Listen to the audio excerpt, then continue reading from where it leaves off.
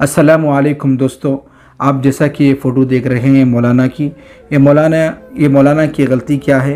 आप ज़रा देखिए। और इन पर केस किस तरह बुक हुआ, आप ये भी ज़रा देखिए, गौर करें कि मुसलमानों पर किस तरह जुल्म व सितम किया जा रहा है।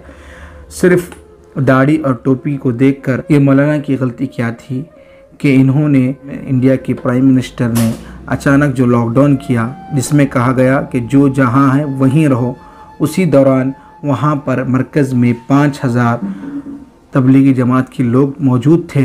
अचानक लॉकडाउन की वजह से वो लोग वहाँ पर रह गए, जिसके नतीजा ये हुआ कि उन लोगों पर केस दर्ज किया गया और उनको जेलों में डाल दिया गया। मुसलमानों पर करोना वायरस फैलाने का इल्ज़ाम भी लगाया गया।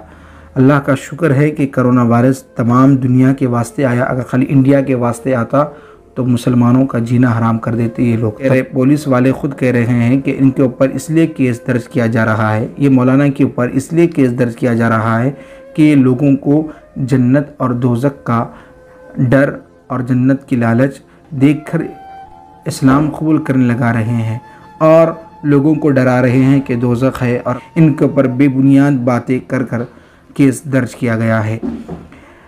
तमाम मज़हब के तमाम धर्म में जन्नत और दोजक का तस्वुर है। हालाँकि नाम नाम अलग है, लेकिन हर किसी के धर्म में, हर किसी के मज़हब में जन्नत और दोजक मौजूद है और उन्हीं के हर धर्म का पंडित हो, साधु हो, पादरी हो, गुरु हो, हर किसी के धर्म में गुरु, जो भी मज़हब का गुरु होता है, वो लोगों को नेक रास्ते पे लाने के लिए जो उनके मज़हब में कहा गया है कि दोजक और जहन्नम है, उसका ज़िक्र करते हैं।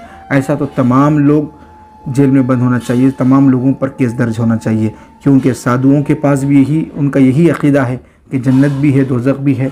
हालाँकि हाँ हाँ उनके नाम अलग है, लेकिन वो भी तस्वुर करते हैं, तुम तुम भी तस्वुर करते हैं, हम भी तस्वुर करते हैं। किसी भी हालत में मुसलमानों को बदनाम करना और मुसलमानों के मदरसों को, मुसलमानों के काम को बंद करने का ये इंडिया में काम किया जा रहा है। दो, दोस्तों हालत तो इतनी ख़राब हो चुकी है कि अब मुसलमान ये सोच रहे हैं कि अब क्या होगा। न कोई हमारा ऐसा लीडर है जो हमारी मदद कर सके। इतना ताकतवर लीडर भी नहीं है। थोड़े बहुत लीडर है वो कुछ नहीं कर सकते।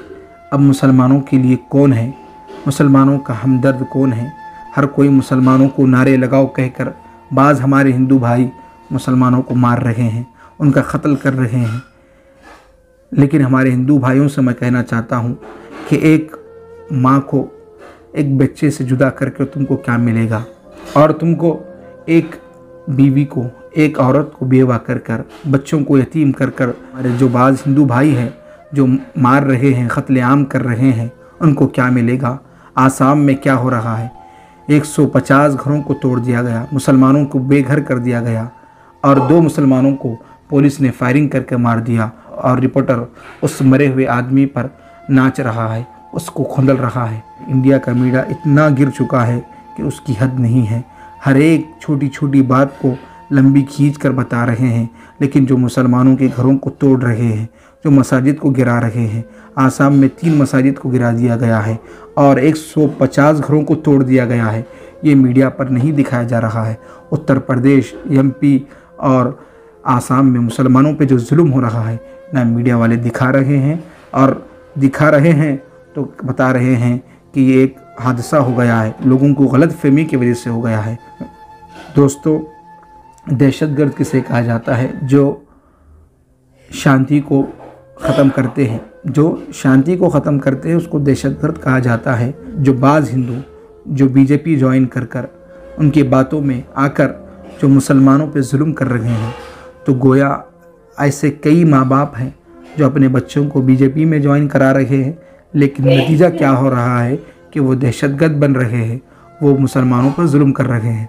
दोस्तों मुसलमान डर रहा है कि अब क्या होगा आगे क्या होगा? अब इतना जुल्म हो रहा है तो आगे क्या होगा? तो मैं आपसे यही कहूँगा कि फ़िरौन आया फ़िरौन तो खुदा का दावा किया था लेकिन उतना जुल्म मुस्तम किया लेकिन ईमान वाले बर्दाश्त करते गए रहे ईमान वालों को फ़िरौन ख़त्म करते गया। लेकिन अल्लाह तबारक व की मदद आई और फ़िरौन ऐसा ख़त्म हो गया कि आज उसकी निशानी बाकी नहीं है। हर कोई जो भी जुल्म करता है, वो चाहे मुसलमान हो, चाहे गैर मुस्लिम हो जो भी जुल्म करता है, अल्लाह तबारक व ताली हर गुनाह को माफ़ कर सकता है, लेकिन कभी भी ालिम को माफ़ नहीं करता। और जो जुल्म का साथ देते हैं ालिम का साथ देते हैं, अल्लाह तबारक व ताली कभी माफ़ नहीं करेगा। और कभी भी या मीडिया वालों को अल्लाह तबारक व ताली माफ़ नहीं करेगा। जो कोई भी मुसलमानों के ख़िलाफ़, मुसलमानों के क़त्लेआम में हकदार है इन अल्लाह तबारक व ताली उसका हर एक चीज़ का अल्लाह तबारक व तारा बदला लेगा। क्योंकि हमारा कोई लीडर नहीं है। हमारा कोई मुसलमानों का दुनिया में कोई हमारा साथी नहीं है, कोई हमारा मददगार नहीं है। हम मुसलमान हैं।